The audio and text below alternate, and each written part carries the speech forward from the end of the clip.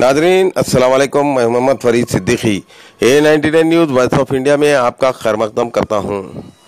चार तारीख फरवरी को एक सड़क हादसे में एक खवातीन की मौत वाक़ हो गई।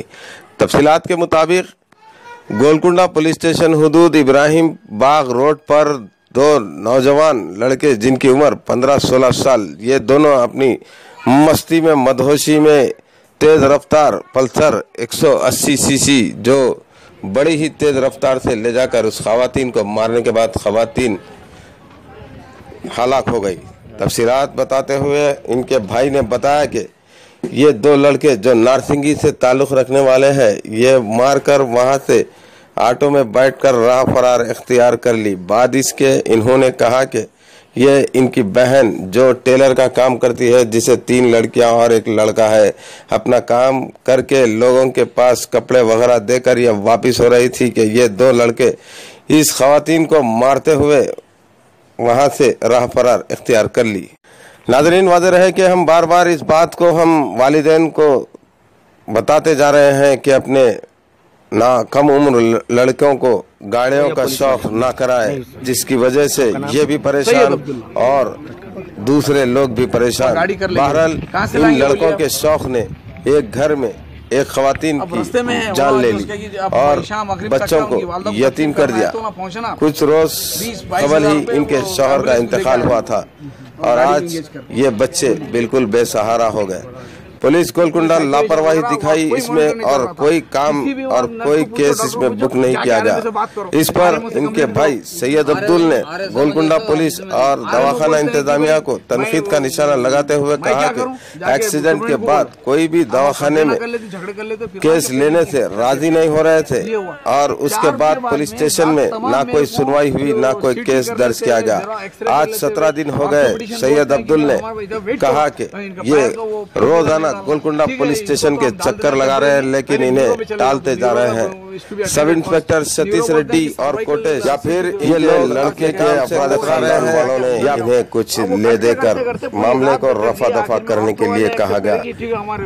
इससे तो साफ़ ज़ाहिर यही होता है कि गोलकुंडा पुलिस इस मामले में कोई एक्शन नहीं ले रही है जिस पर सैयद अब्दुल बेरहम होकर गोलकुंडा पीएस के पास रोज़ाना चक्कर लगाते जा रहे हैं। आइए नाजरीन हमारे नुमाइंदे सैयद अहमद की एक तफसीली रिपोर्ट में बड़ी बहन नहीं है। कब हुआ ये? क्या टाइम पे चार तारीख के दिन साढ़े छह बजे शाम को।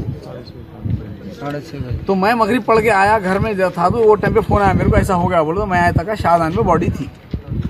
वहाँ पे हमारी बहन कोमा में थे ऑलरेडी उनका सीटी स्कैन हो चुका था और जो है सो फिर वहाँ से उन्होंने बोले कि इंटरनल ब्लीडिंग हो रही ब्रेन में और यू नो बहुत रिस्की रिस्क में इनकी जान का घर कहाँ था? बहन का घर कहाँ है आपके? बहन का घर हमारे पास ही आया एरिया था इब्राहिम बाग। इब्राहिम बाग इब्राहिम बाग। जी। अच्छा जो एक्सीडेंट हुआ उनका घर कहाँ है उनका घर नारसिंगी के हो लोग जी तो उन बच्चों को हमारे भाई अच्छा पहचानते हैं। हमारी गाड़ी उनके पास Pulsar one eighty C C और अच्छा जी। पल्सर? पल्सर? कितनी स्पीड में देखो आप। Pulsar one eighty C C number T S zero seven F E four three nine two. इनके गोल गोलकुंडा पी एस से पीसी जंगैया है वो गाड़ी कोई पंचनामा नहीं क्या हुआ किधर हुआ कोई कुछ भी नहीं कोई इन्वेस्टिगेशन नहीं कोई पुलिस की तरफ़ से इंटरवेंशन नहीं बस वो ले लेके आ गए यहाँ लगा दिया गाड़ी को खत्म हो गए बाद उसके बाद में पेशेंट वहाँ से हम वहाँ से लेके दवाखाना लेके गए वहाँ पर कोई आए थे बच्चे की तरफ़ से? कोई नहीं तक भी कोई नहीं आया वहाँ तक नहीं वहीं से नहीं आज तक भी कोई नहीं आया और आज तक भी कोई भी नहीं आया और हम चार बार पुलिस स्टेशन आने के बाद में वो एफ़ कॉपी दी जाती है विदाउट साइन। और इनके जो इंचार्ज ऐसा है उन्होंने बोलते हैं आपसे एक सवाल पूछा इसमें फॉल्ट किसका है बोलना चाह रहे हैं आप बोलिए। फॉल्ट जो है irresponsibility of the incharge S I wait be looking after the case और अक्यूज वेरी वेल जो है सो कि ऑब्वियसली जो बच्चे जो बच्चों को अपनी गाड़ी दे के बेलगाम छोड़ दिए हैं कि किसकी भी जान ले लो क्या भी करो खुद की भी जान दे दो। बच्चे की उम्र क्या है? बच्चे की उम्र मुश्किल से पंद्रह सोलह साल है। अच्छा। आज उसका मेरे को पैन उसका आधार कार्ड मिला है जबकि पोस्टमार्टम होने के बाद में अब विक्टिम तो मर गया। लिहाजा अब उन्होंने एस आई साहब आज उनसे मुलाकात हुई। मैं रोज उनके चार कॉल कर रहा हूँ। एसआई का नाम एस आई सतीश रेड्डी है। और जो है सो वो उन, उनको सतीश रेड्डी को डिटेल किए हैं एस आई कोटेश। तो उन्होंने जब मैं आया था फ़र्स्ट टाइम तो मुनावर साहब से मिला तो बोले कि आप ऐसे ही जो डीलिंग है उनके पास जाओ उन्होंने दे देंगे आपको नहीं हुआ तो आप मेरे पास आ जाओ मैं कैसा एक्सीडेंट हो। गया कितने दिन हुआ ये? पाँच चार तारीख हुआ साहब। चार तारीख हुआ तो आज को बीस तारीख सोलह सत्रह दिन है। सत्रहवा दिन है। सत्रह दिन में आपको कोई केस बुक